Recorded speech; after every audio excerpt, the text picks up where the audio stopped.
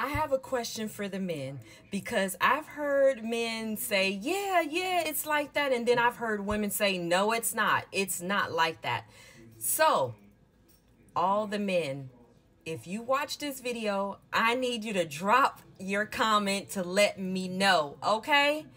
Is it true that when women are like down on their luck, maybe they're looking for a job, they don't have a car, and most men are are patient and they're like, "Yeah, I'll wait for you to get a job and I like you and this and that." And on the other hand, women are like, "Oh, you don't have a car? Mm. Oh, mm. I don't think that's going to work."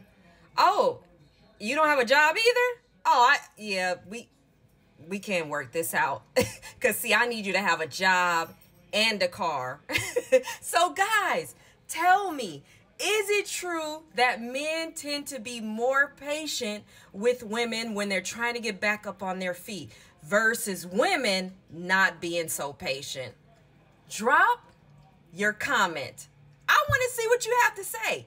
And by the way, you can watch more videos on my YouTube channel. Okay?